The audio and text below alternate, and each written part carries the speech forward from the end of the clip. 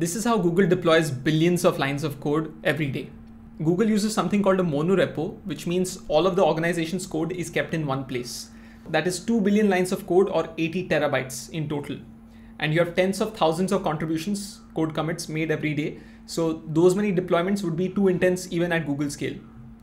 They use an open source software called Bazel to manage this. And the idea behind this is the humble Merkle tree. Whenever you make a change in a file, that file or that object has a unique SHA-1 hash. A change in the file changes the hash of the file. So when the build system is looking to deploy changes, it goes through the top of this Merkle tree, this directory structure, finds the directories which have been changed, and picks only those directories and files which need a redeployment. In this way, all of the unaffected files are not recompiled.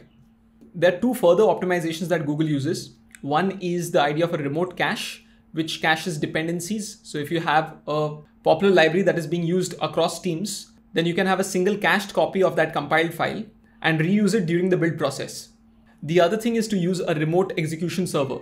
So instead of compiling and running the files locally, you have a powerful external server, let's say 64 gigs, which can run multiple build processes in parallel. Now, if you're wondering whether you should use Bazel in your organization, I don't think you need it. This is specifically for monorepos and this is specifically for very large build systems, but it's nice to know. Thank you for watching.